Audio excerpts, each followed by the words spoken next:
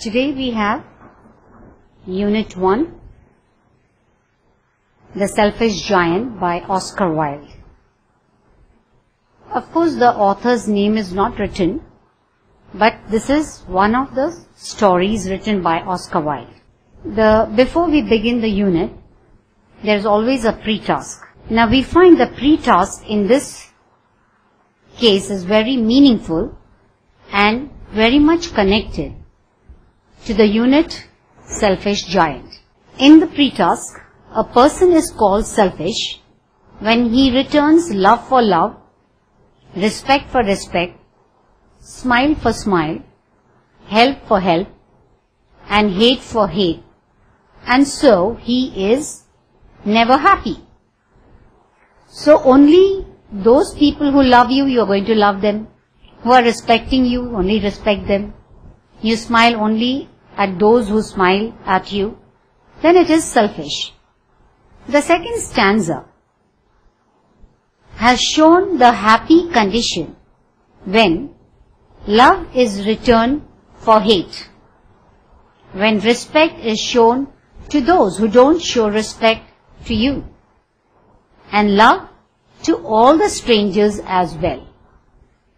Loving your brother, sister and friend is one thing, but to unknown person is what is bringing happiness. The poem in the pre-task is a forerunner, what you call it a preface for the story of selfish giant. The story runs something like this. Now here we begin with the story.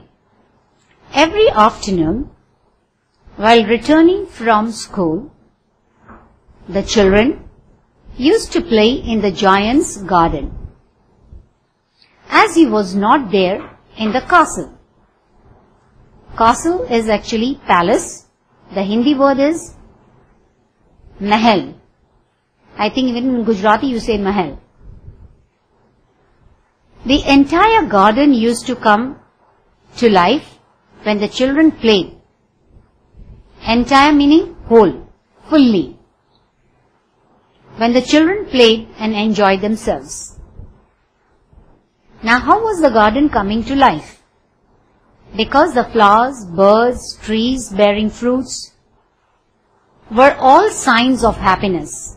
So you could see the flowers blooming, you could hear the birds singing, you could see the tree bearing fruits.